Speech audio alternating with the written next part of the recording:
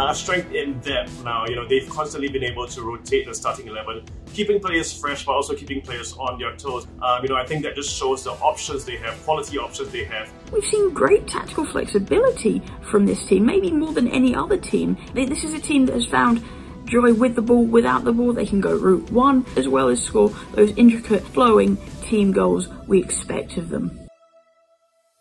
Um, you know, I think Japan have also really thrived um, without some pressure on them. The fact that you know they didn't win the last Women's Asian Cup, they didn't even reach the final, having won the past two editions.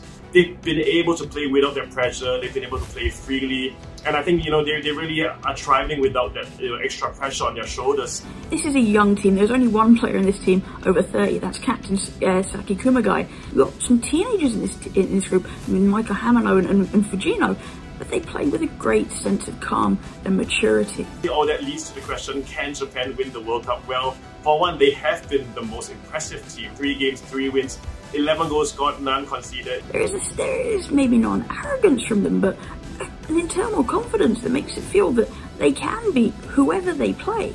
And that's why Japan could go all the way.